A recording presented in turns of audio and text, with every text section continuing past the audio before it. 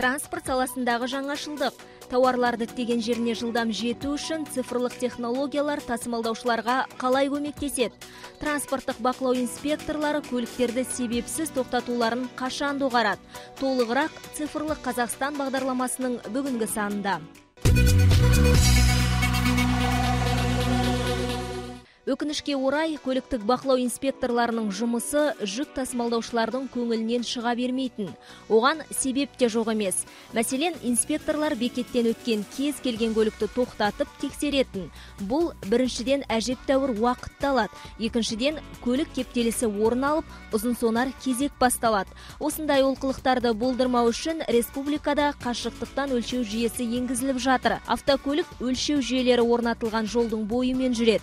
Сол сәттегі деректер дәл уақытында көліктік бақылау инспекторларына жіберіледі. Егер жүктердің шамадан тыс екені анықталса мамандарға бірден хабар келіп түседі.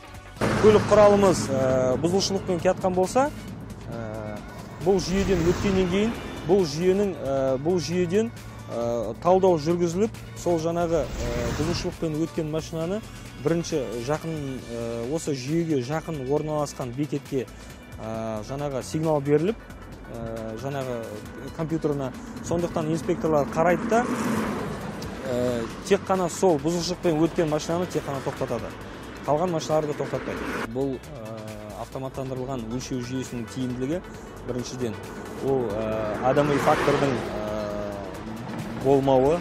Екіншіден жаңағы тоқтату жолдағы тоқтатулардың бәрін посттар бекеттердің бәрін алатын болсақ онда көлік құралдарымыз жаңағы бір пункттан екінші пунктқа дейін тасымалдау жаңағы өзінің мерзімдері қысқарады. Демек инспектор бұдан былай күмән тудырды деген желеумен кез келген көлікті тоқтата алмайды. Инвестициялар және даму министрлігінің бұйрығына сәйкес көліктер 10 тоннаға дейін жүктей алады. Яғни бұл көрсеткіштен асып кетсе арнайы құрылғы бірден бақылау инспекторына хабарлайды. Өзіңіз көріп отырғандай кәдімгі ресей автокөлік құралы тоқтатылды.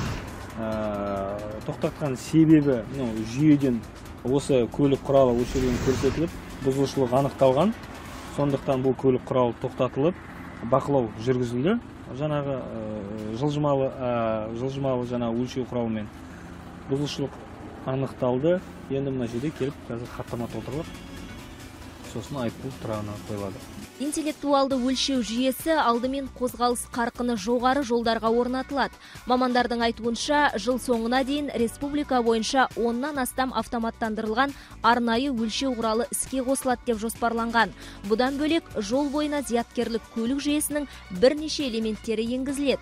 Бұл зияткерлік көлік жүйесінің құрылымы өте ауқымды болғандықтан әр компонент осы сатылы түрде енгізілетін болады.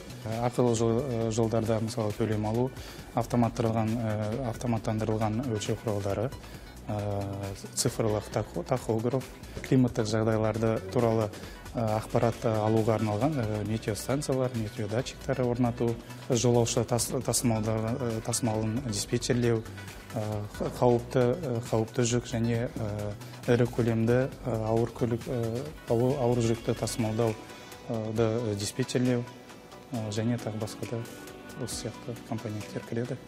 Сапалы жол транзит көлемінің өсуіне ықпал етеді. Қазақстанның транзиттік әлеуетінің артуына байланысты жыл сайын көлік ағымы ұлғайып келеді. Ал цифрлық технологиялар жолдардың сапалы күйін сақтап қалуына септігін тигізеді. По 23 мая текущего года, то есть за неполные три месяца. Биылғы жылдың наурыз айынан бастап 23 мамырға дейін, яғни толық емес үш айды қоса алғанда автоматтандырылған арнайы өлшеу құралының көмегімен көліктік бақылау бекеттерінде 256 бұзушылық анықталған.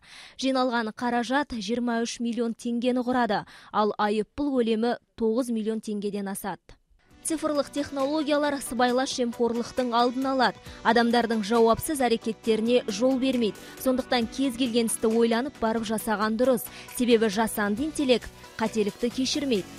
Ал біз өмір сүріп жатқан әлемдегі жаңашылдықтар туралы әдеттегідей цифрлық қазақстан хабарынан біле аласыздар.